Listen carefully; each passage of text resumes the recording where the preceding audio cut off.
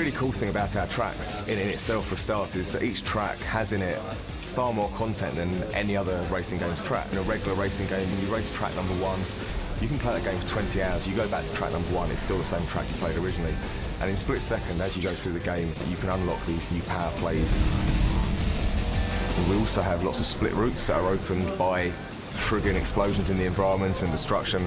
So in that respect, it's a little bit like, say, what you get in a, a platformer or an action game.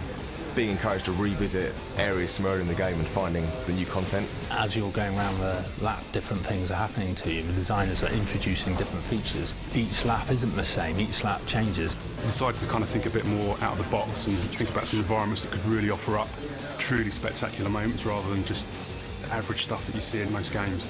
The dockyards, airports, you know, it's the sort of thing you don't really see in most racing games. What's really cool with the cars is that you start the game and as you go through it, you, you get given these 30 cars. You get awarded them by winning episodes in the TV show. And as you play through the game and you unlock certain achievements, these achievements are actually represented on your car as decals. So when you're racing online, you see some guy in his car's covered in stickers, you know he's an expert and be careful. And if it's a slightly, you know, emptier car, that's pretty new to the game. It really means that the car itself, it actually evolves with you as you play the game. We kind of wanted to steer clear of kind of compact cars and hot hatches. We wanted something that feels big, meaty, that feels like it's, you know, it could handle the kind of destruction that's been thrown at it by the game.